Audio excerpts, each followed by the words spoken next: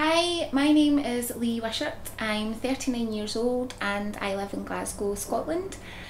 I got psoriasis when I was nine years old. One day I woke up and my full body was absolutely covered. That was the first time that I got admitted to hospital. I was in and out of hospital. I think the longest time I stayed in hospital was for two months. I didn't show anyone my skin when I was little, apart from like my mum. You know, I got bullied at school, I get called names at school. At that time, my head was really, really covered in psoriasis also and people thought I had dandruff all the time and I didn't have dandruff, I had psoriasis in my head.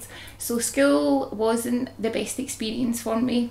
If I met a guy years ago, I used to say, you know, in the first time, I've got psoriasis because I used to give people the opportunity to walk away because I had one boyfriend who told me my skin was horrible, you know, and asked me how long I was going to have it for. And obviously, I was 18 at the time, and that's how I broke my heart because I was like, your confidence kind of goes from there to there. I felt depressed, I felt fed up, and nothing was was clearing my skin up. Then I discovered this this product, and it was Oregon grape root. Finding these products gave me a new lease of life. This is what still works for me nearly 10 years later and I swear by it. I use this stuff here to wash myself and if anyone can see it looks like a normal body wash.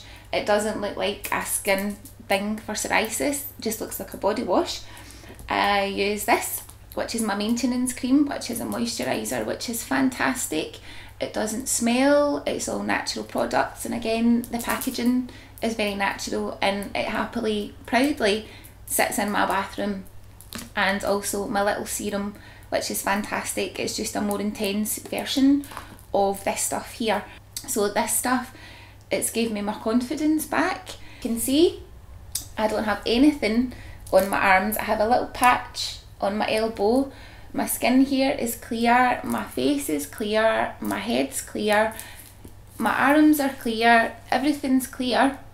And it's been that way for the last nearly 10 years I just, I'm doing this testimonial today to show other people who have got psoriasis that this might not work for you, but it might.